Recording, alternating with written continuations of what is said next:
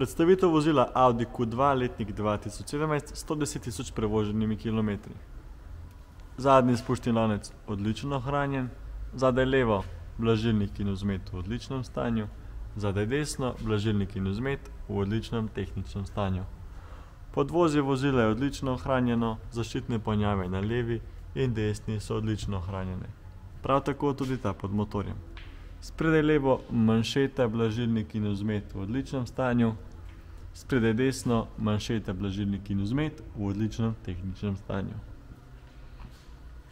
Sprednji odbijač vozila je odlično ohranjen z manjšimi površinskimi praskicami.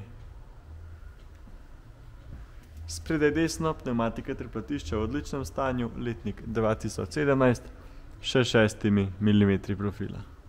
Desni prag vozila je odlično ohranjen. Zadaj desno pnevmatika ter platišče v odličnem stanju, letnik dva tisoč sedemnajst s šestimi milimetri profila. Zadnji odbijač vozila je odlično ohranjen že s predpripravo za vlečno napravo. Zadaj levo pnevmatika ter platišče v odličnem stanju, letnik dva tisoč sedemnajst s šestimi milimetri profila. Levi prag vozila je odlično ohranjen. Spredaj levo pnevmatika ter platišče v odličnem stanju, letnik dva tisoč sedemnajst s šestimi milimetri profila.